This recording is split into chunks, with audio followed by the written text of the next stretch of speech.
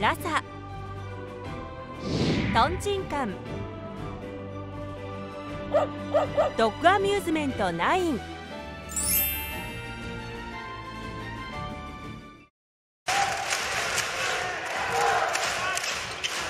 ルバに渡るうん N1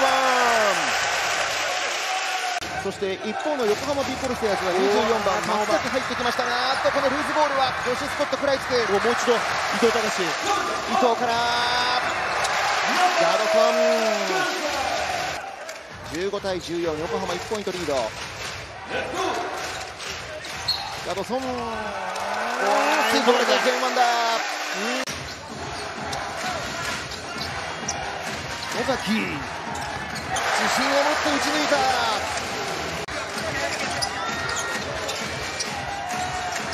ードオープンなる野崎のスリー決まりますまあしかしいずれ依然として得点ペース特に横浜の方は高いことになってますよね。ガナソンからブバに渡る今日はこのままハイハイペースでつなげた見えてくるかもしれません。ガロソン。そしてルバイのホットライン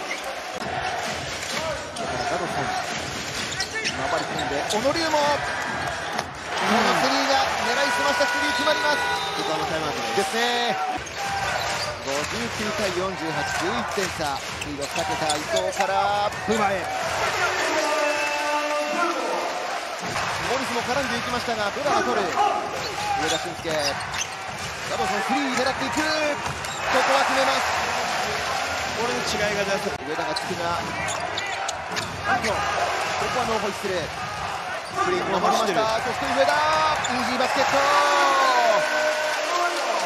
すよねこれをやっぱどう感じるか。はい。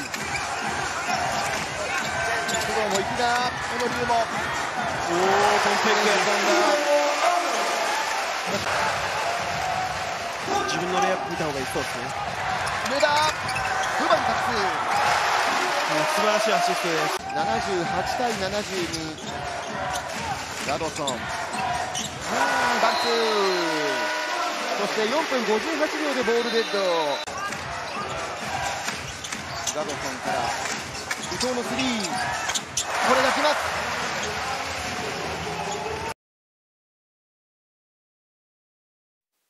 富山クラウジーズゲームハイライト。ASA グループの提供でお送りしました。